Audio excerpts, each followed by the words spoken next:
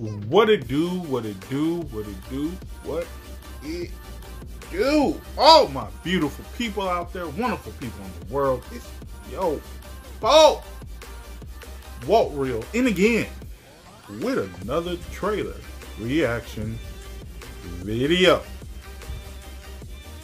Yo, so I am super excited about reacting to this video because uh, it's another installment. Creed 3.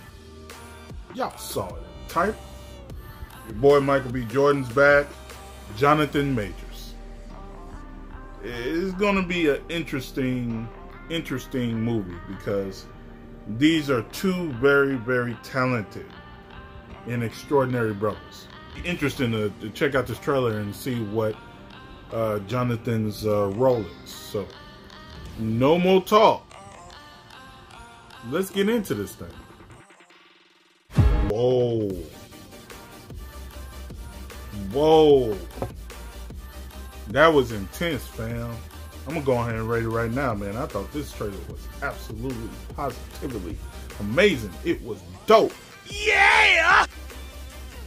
For real, for real. Man, um, this looks like it's gonna be a, a interesting story. Classic tale of loyalty and family and friendship and things like that. And even betrayal. It looks like it's gonna be a very epic film. Damn, man, I wish uh, Sylvester Stallone would have came back. You know, all in all, uh, it looks like it's gonna be an awesome movie, man. I can't wait to see it. But you tell me what you think. Hit the comment section below if you like my re reaction, or if you didn't, just let me know. And if you like the trailer or not, let me know.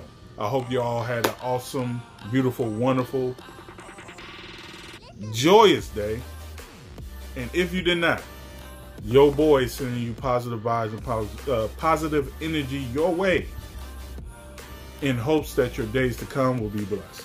And with that, it's your boy Walt Real. And again, with another trailer reaction video.